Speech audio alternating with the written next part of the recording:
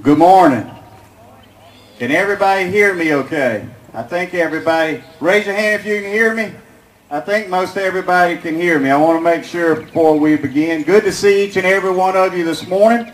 I know we're doing things a little bit differently uh, than we're accustomed to, but uh, praise the Lord, we can still come uh, together as brothers and sisters in Christ and uh, worship together and be an encouragement to one another. One of the things that we typically do every week is to recognize any birthdays or anniversaries. And we may have to wait on that just a moment till Joy gets back to, to, to her desk. Uh, so we'll come back to that in just a second. Um, as far as right now, we'll go ahead and take uh, some prayer requests. We know Miss Terry Sanders is still scheduled for her surgery, so y'all remember her. Also, let's continue to remember those who've been affected by the coronavirus, uh, those that are working uh, on a treatment, those who are, of course, uh, treating uh, patients, those that are on the front lines. And we want to continue to pray for you and your health as well, that God would put a hedge of protection around you and protect you and your family also. At this time, let's go ahead and go to the Lord in prayer. Would you bow in prayer with me, please? Father in heaven, we come now and we just thank you and we praise you for all of your many blessings. Lord, we realize that there is uh, a pandemic that's going on around the world, but, but Lord, we're so thankful that you uh, have protected us uh, thus far. And Lord, we realize that you are eternal and this coronavirus is temporary.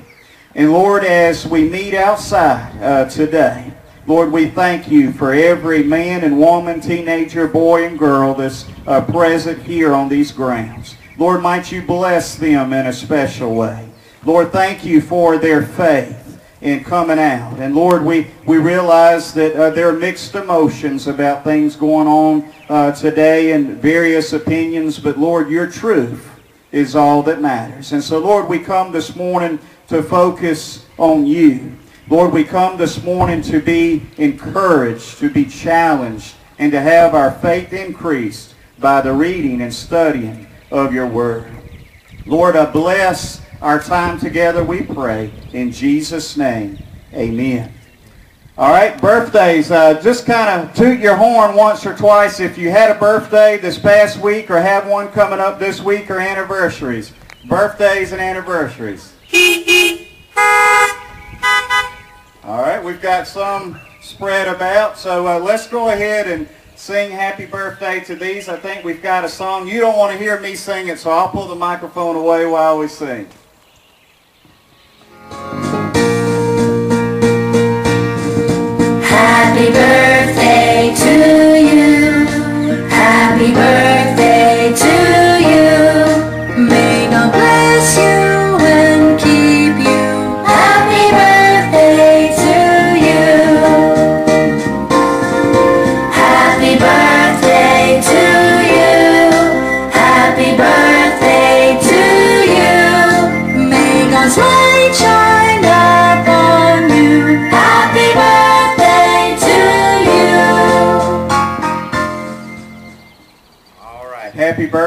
Happy anniversary.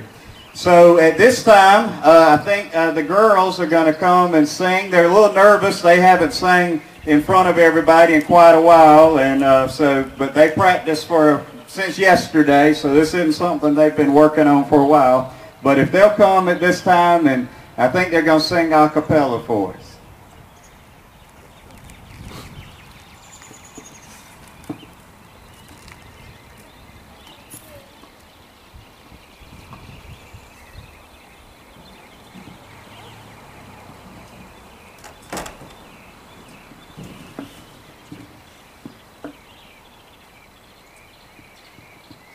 Before I spoke a word, you were singing over me.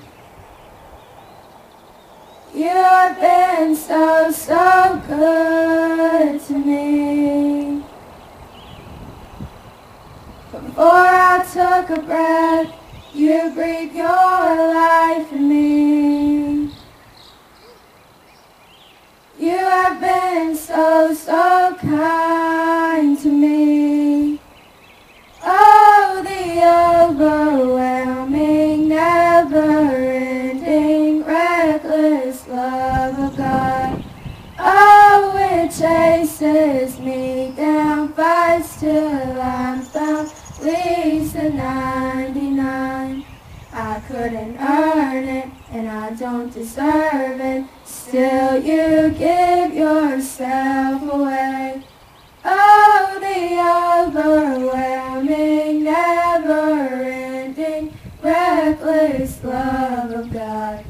Yeah. When I was your foe, still your love fought for me. You have been so, so good I felt no worth, you paid it all for me. You have been so, so kind to me. Oh, the overwhelming, never-ending, reckless love of God. Oh, it chases me down, fights till I'm found, the 99. I couldn't earn it, and I don't deserve it. Still, you give yourself away. Oh, the overwhelming,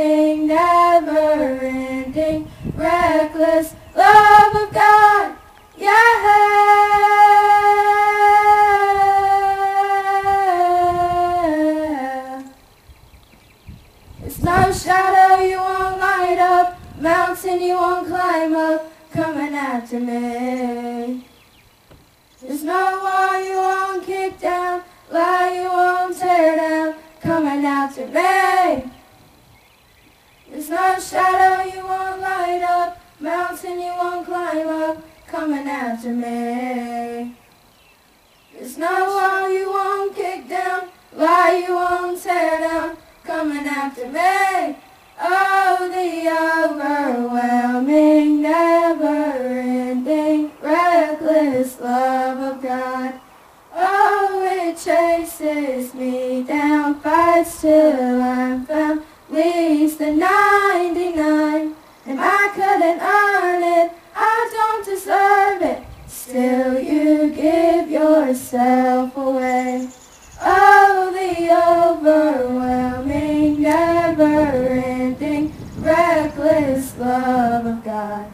Yeah.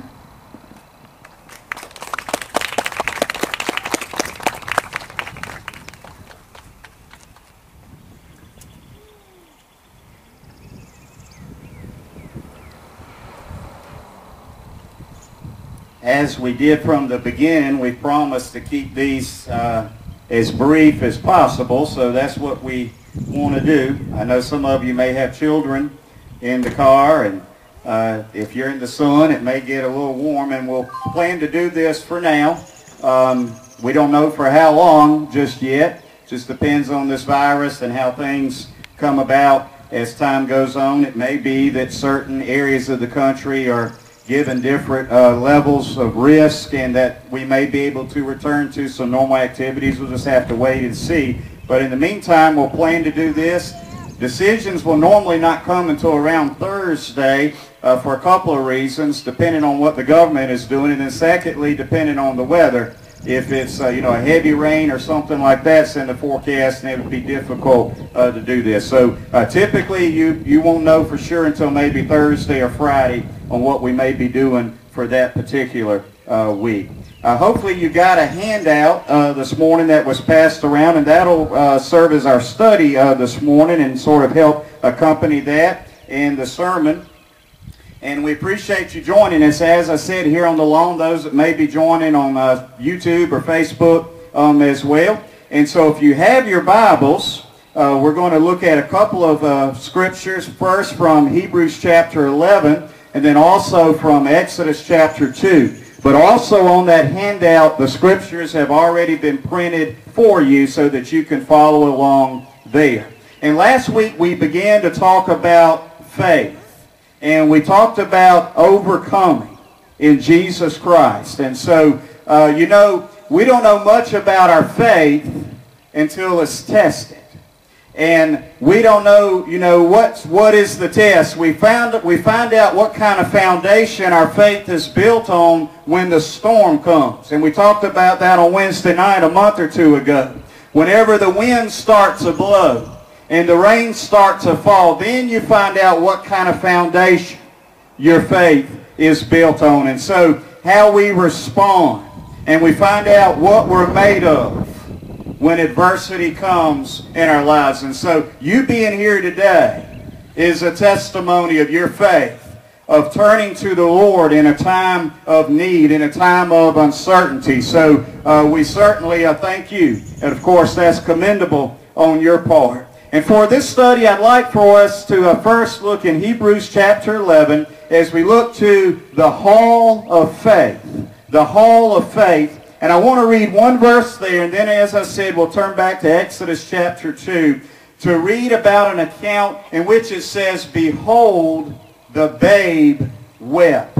The babe wept. And that's when baby Moses was discovered in a basket in a river. And again, you can follow along with a handout. But first from Hebrews chapter 11, verse 23, here's what the Word of God says.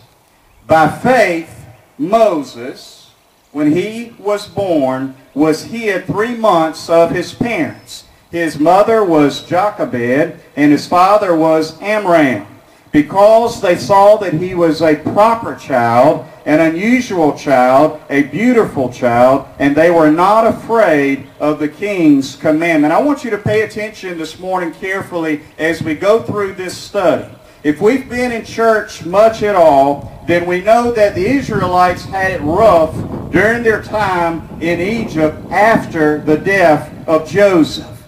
And so they were overworked as slaves. They were treated harshly. And the Pharaoh, the ruler of the land there in Egypt, is inflicting God's people with pain day after day, and the conditions are severe for his people. Do you know God has a solution for any problem that we face. And God will raise up a man named Moses to go and confront the Pharaoh to release his people. But if we rewind several years before that, if we look at a time before that, we can miss a great story of faith, which is what we're going to look at today. In times like these, studying the courageous faith of those who have walked before us can greatly encourage us as well.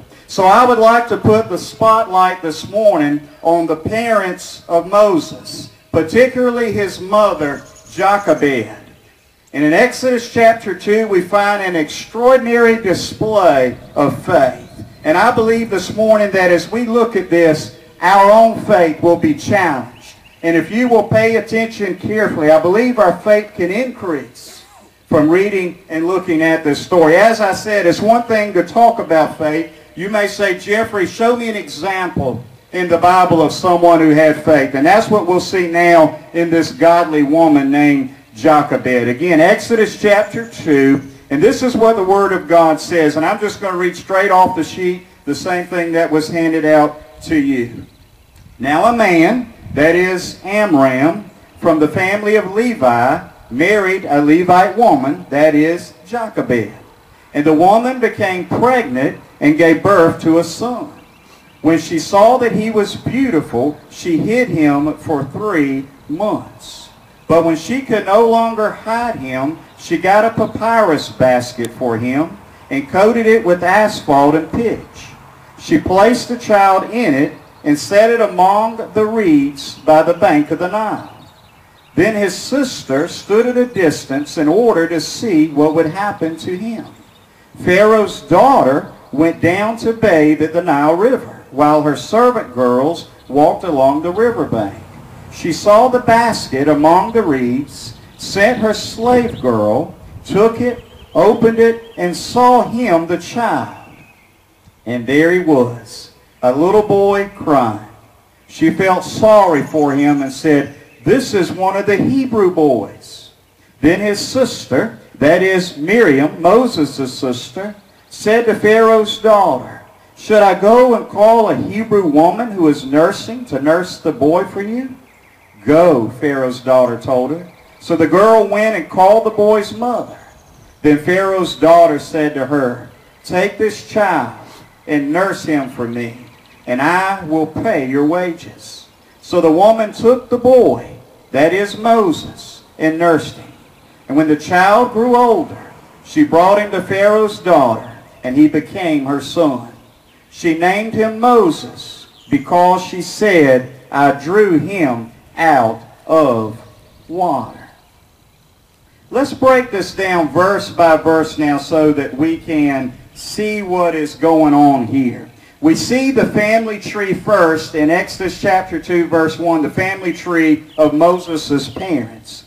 They were Hebrews of Levi's tribe. That is both of them, Jochebed and Amram. So they were slaves of the lowest social rank. And Moses' parents, they would have worked like animals. They were abused. They were beaten. They were poor and had little to nothing. And since the spotlight is on this mother this morning, think about her for just a moment. She had nothing. She had absolutely nothing. She was a slave. She worked endless hours to make someone else rich. Yet God will honor this woman. He will use this woman, this humble mother. She will give birth to one of the greatest men to ever live on the face of the earth. And this reminds us, this reminds you, and this reminds me that God can use anybody, especially humble people. We don't have to have great abilities, that is great talents. We don't have to have a broad social circle and have a lots of popularity. We don't even need a vast bank account for God to use us. So why is this woman found in that famous hall of faith in Hebrews chapter 11 because she believed in God and she trusted in God. Well, what did she do, you ask? Well, let's look at verse 2 again. Here's what it says. The woman became pregnant and gave birth to a son. And when she saw that he was beautiful, she hid him for three months. You may ask, what's so significant about this? You see, God was with the Israelites. God was with his people while they were in captivity in Egypt. And they kept multiplying and they became more and more numerous. And this made Pharaoh, the Egyptian Pharaoh, again, he was the ruler in the land in Egypt. This made him very nervous. They were starting to outnumber his own people, you know. So he issued an order in Exodus chapter 1, verse 22. And here's what he says any of those Hebrew boys, when they are born, they are to be thrown into the Nile River to drown. The girls you may keep. Now this order came shortly before Moses was born. Keep in mind that Moses is Jochebed's third child. There was Miriam, the older daughter. She was probably around 14 years old at this time. There's also Aaron. Moses' older brother, who's about three years old now. So the king has issued a command. He has issued a law in the land. And this was not in effect before, but it is now. Any baby boys that are born from here on out are to be thrown into the Nile River. Think about it. Suppose you were Jochebed, Moses' mother. How upsetting would it be whenever this law has been issued to discover that you are now expecting a child. The fear, the uncertainty. What are we going to do, Amram, if this baby is a boy? The Pharaoh has said we must throw him into the Nile River. Moses' parents must have prayed and prayed for guidance with no modern day sonogram to determine the baby's gender month after month, week after week, day after day. Perhaps these parents are praying, Lord, what are we going to do if this baby's a boy? Perhaps they even prayed, Lord, please let the baby be a girl. You may be facing something today it may be related to the coronavirus. It may be related to something else. But day after day, you may be asking the Lord to give you some wisdom, to give you understanding, and what seems to be staring you in the face doesn't seem like a good option. You're like, what do I do, Lord? Well, the day finally came. And verse 2 tells us, the baby is a boy. Their worst fears have become a reality. Moses is born. And this mother loves this baby. And she feels that it's her natural duty and instinct to protect her baby. Even the animals of the wild protect their own. The Bible says that she hid him for three months. Her faith in God is on display here. It's dangerous to go against what the law says. And she hid the child from the authorities and any neighbors, anyone who might tell. She hid the child and she risked her own life. She was a courageous woman. She was a righteous woman. But she cannot hide this baby forever. She must be praying, Lord, give me something, tell me something. She has to come up with a plan. But you know, God gives wisdom to those who ask. James 1.5 says, If any of you lack wisdom, let him ask of God that gives to all men liberally. Verse 3 now, the Bible says she could no longer hide him. We don't know exactly why, but perhaps the Egyptian authorities, authorities were periodically checking homes. Maybe there was a reward for any nosy neighbors that may tell. Who knows? Of course, it would be noticeable if you had a child that was starting to grow up to know that they were in that age range. So Moses' mother must now act in faith. What can she do to save her baby boy? The Bible says that she placed the baby boy in a basket made of papyrus and placed it among the reeds of the Nile River.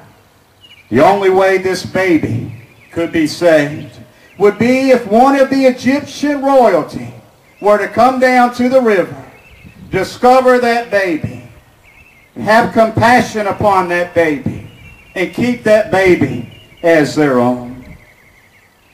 You see, Jochebed, Moses' mother, was poor. There was nothing she could do. She was of a lower social class. She was nothing by society standards. She could not even save her own son's life. Remember Miriam, the oldest child. Jochebed instructs Miriam, this teenager, to go and stand and watch from a distance and see what happens when we lay this basket there among the reeds on the Nile River. You see, Jochebed cannot control the situation, much like us today. We can't control the situation. As a mother, all Jochebed could do is pray and trust God to work it all out. But is there really a better plan than that for you and me today? There are times that things happen that are beyond our control. Our spouse may leave us. Our children may get on the wrong path. The stock market may plummet. Someone that we love may become seriously ill. In those times, we are to pray faithfully and we are to trust God to work it out all according to His plan, not our own. And she probably had many questions. Why did our baby have to be a boy, Lord? Why do we have to live here in this place? Why does the Pharaoh have to be so evil? Lord, I, I'm trying to serve you. I'm one of your children. But yet, I'm in this difficult place in my life. They're wanting to kill my baby boy. As I said at the beginning, we find out what we're made of when storms come in life. This wise and faithful woman named Jochebed is up to the test. You see the hand of God is guiding this woman. God has a special plan for this baby boy in the future, and God will watch over and protect this baby as he lays in that basket there on the Nile River. So the baby is placed in a basket, laid into the Nile River, as Miriam, the sister, the older sister, watches from a distance to see what will happen. Verse 5. Look who comes along. Of all people, who shows up and discovers this basket? Pharaoh's daughter, the princess, shows up. Is this a coincidence? I think not. Pharaoh's daughter came to the Nile River to bathe. And she sees this basket off in the distance. And she's curious as to what is in this basket. And she sends one of the nearby slave girls to wade out into the water and to fetch the basket for her. And in verse 6, the Bible says, and I like how the King James Version words it, when she had opened it, that is the basket, she saw the child. And behold, the babe wept. And she had compassion on him and said, This is one of the Hebrews' children. When she opened the basket, the baby began to cry. And this melted that princess, Pharaoh's daughter's heart. And she had compassion for him. And she knew this was a Hebrew baby, according to the Bible. So what does Moses' older sister, Miriam, now do according to verse 7? She displays some courage here as well. She approaches. She sees that Pharaoh's daughter has spotted and has now seen Moses in this basket. And so Miriam walks up and she poses a question to Pharaoh's daughter. Do you want me to go and, and find a Hebrew woman to nurse this baby, this child for you? And this prompted Pharaoh's daughter to answer, yes, go. So who does Miriam go and get? Jochebed, her mother. The baby's mother, the child's mother, Moses' mother, of course. Pharaoh's daughter says, take care of this child. Nurse him for me, and I'll pay you. Look what God does. He saves this child, and now Moses' mother is getting paid to take care of her own baby.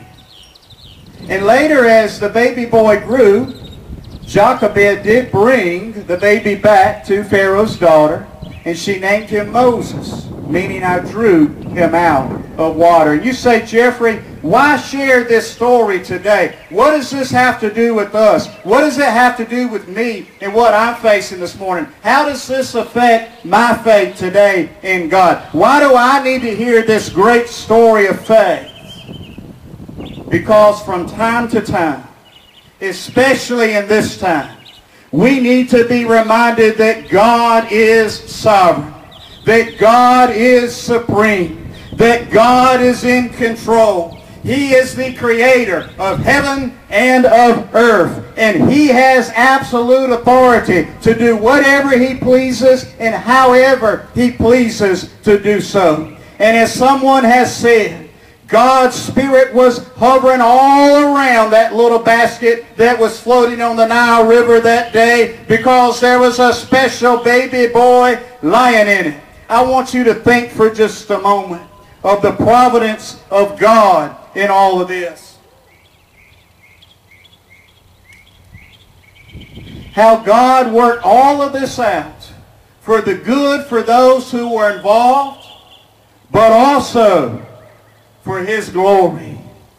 Those reeds held that basket in place close to that shore because otherwise that basket would have floated downstream. So that was one thing that God did. No dangerous crocodiles swam over and, and attacked the child as that baby lay there in that basket on the Nile River. Pharaoh's daughter, the princess herself, came to bathe. The very person that most likely these parents have been praying to come for some time, the very person that they prayed would show up is the very one that God sent on that particular day. Not only did she show up in the right place at the right time, but she actually saw that basket and she was curious as to the contents of that basket. And when she opened the basket, the baby began to cry at just the right moment to arouse her sympathy and her compassion and her feelings were so strong that she was able to go home and tell her father who hated these Hebrews, who had already issued a command to kill all those Hebrew baby boys, she was able to go home and convince her father, the king, to keep the child. It's not a coincidence that she showed up that day. It's not a coincidence that she was in the right place at the right time. God orchestrated it all. Do you not see the hand of God in this little story? You see, along the way, no doubt there were so many questions. Perhaps they were fearful at times. There was uncertainty as not knowing what to do and what would happen to their baby boy. But God had to be trusted in it. Jochebed had prayed and prayed and prayed. And she trusted God to save her baby boy and to use him. I'm almost through. Romans 8:28 says, And we know that all things work together for good to them that love God, to them who are the called according to his purpose. You see, her faith was rewarded. God took the evil plans of the Pharaoh to kill all the baby boys and worked it out for good. You see, God is going to use this baby boy some years down the road. The Pharaoh himself will feed and clothe and provide shelter for the same very baby boy who will grow up and God will use Moses to free the Israelites. It's amazing how God works. I don't know what's on your mind or heart this morning. I don't know what you're going through. No doubt there are things that all of us face in these days. Trust God. He has a plan. If you know God, Trust Him. Pray. Trust Him. Hebrews 11:6 tells us, but without faith it is impossible to please God. Without faith, it's impossible for you or me to please God. Moses' parents are in the hall of faith in Hebrews chapter 11 because they trusted God. Do you trust him this morning? Do you trust him? How about your faith during this time? If God can take care of Moses as he laid in a basket, floating there on that Nile River, and work everything out, put it in the Pharaoh's daughter's heart to go and at the, to the river at that time, and then to spot that basket, and to have that basket brought to her, and then for that baby to cry at just the right moment so she'd have compassion and take this baby home to her father. God worked all that out. He did. He did. This time, would you uh, bow in prayer with me? Uh, as we did last week, we will plan to uh, collect an offering, a love offering. If you're not prepared to give, that's certainly okay. We're not asking you uh, to do that, but uh, if you'd like to give, uh, you certainly may do so. We'll have a couple people come around in just a moment. If you'd like to drop something in, feel free to do so. If not, that's okay too. And if you didn't come prepared, but you'd like to give, there is uh, our uh, P.O. Box there in Barnwell. Our P.O. Box is in Barnwell, just so you realize that is uh, correct on the sheet that we passed out, P.O. Box 394 in Barnwell, South Carolina. This time I'm going to have a closing prayer, and then we'll have our ushers to come and collect offering. Would you bow in prayer with me, please? Father in heaven, thank you for these great stories of faith. As we said, it's one thing to talk about faith. It's one thing to say, oh, I have great faith. But Lord, we discover the kind of stuff we're made of when adversity comes. Our response to it, our reaction to it, that's when our faith is revealed. And Lord, in these times, might we prove to be faithful. Might it be revealed that our faith is built like the house on the rock. The winds may blow, the rains may fall, but the house remains and stands firm. Lord, might that be the description of our faith. Lord, thank you for each one that's here again today. Bless them, Lord, during these days. Give them peace. Lord, it does not honor you when we worry. It does not honor you, Lord, that as your people, when we go out and about and, and, and we uh, incite fear and worry among people, Lord, might we be the kind of Christian that reassures that our God is in control. Lord, perhaps we'll share the story of Jochebed and baby Moses in the basket is proof that our God reigns on this earth and in heaven. Lord, bless this offering that we're about to receive now. We love you, Lord, and we praise you, and we thank you in Jesus' name. Amen.